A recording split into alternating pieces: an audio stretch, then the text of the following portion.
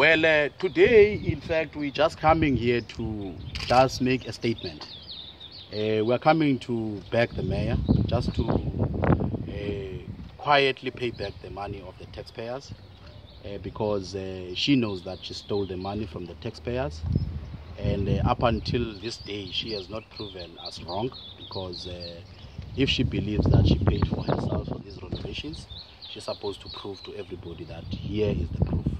Uh, people are still waiting for her to prove us wrong. So failing to do so, because we know that uh, if we wanted to bring, uh, you know, massive people there here, we could have done that. But we respect her. We are just coming here to say, look, we are begging you, pay back the money of the taxpayers of Cape Town. Failing to do so, uh, we are coming to, to her. We know where she works. She works there at Civic Center. We will bring uh, Cape Town to Civic Center so that we demand the money. Um, she's got a choice. It's either she she comes out clean and tell us exactly what has happened because we know we've got the information.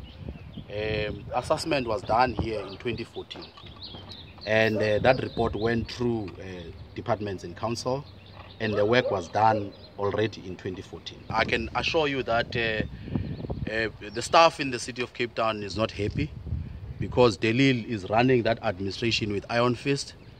Um, we will continue to get more information. And even last night i was hinted that they wanted to subject the staff to light detectors. And uh, we warn them if they can't violate the rights of the staff because uh, people have got the right to speak out. And uh, if they want to subject staff to like detector what are they trying to hide